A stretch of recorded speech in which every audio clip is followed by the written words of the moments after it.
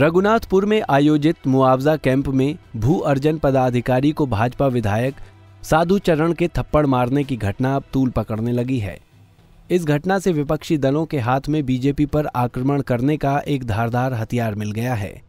JVM अध्यक्ष बाबूलाल मरांडी का कहना है कि इससे पार्टी का असली चेहरा सामने आ गया है। प्रकार की लूट सब जगह मची रहेगी तो यही झगड़ा होते रहेगा। नहीं तो बीजेपी के विधायक ने जिस तरह से प्रशासनिक अधिकारी कह रहे हैं ना कि उनको हिस्सा नहीं मिला होगा इसलिए वो सब मारपीट हो रहा है झगड़ा हो रहा है और क्या हो रहा है? वैसे तो विधायक और पदाधिकारी दोनों के ही तरफ़ से थाने में प्राथमिकी दर्ज हुई है जिस पर अनुसंधान होना बाकी है। लेकिन बाबूलाल मरांडी जो आरोप बीजेपी पर लगा रहे हैं वो निश्चित रूप से गंभीर हैं। ऐसे में अब देखना होगा कि बीजेपी इस पर क्या प्रतिक्रिया देती है।